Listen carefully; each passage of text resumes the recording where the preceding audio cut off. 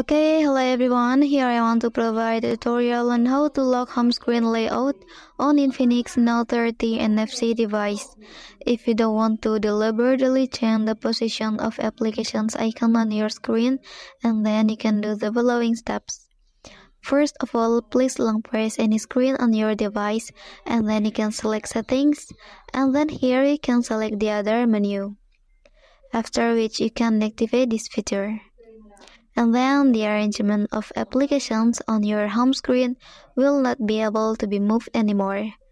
Well, that's the tutorial on how to lock home screen layout on the Infinix Note 30 NFC device. And this method you can also apply on Infinix Note 30 and Infinix Note 30 Pro device. Please press subscribe button for more information. Okay, thank you.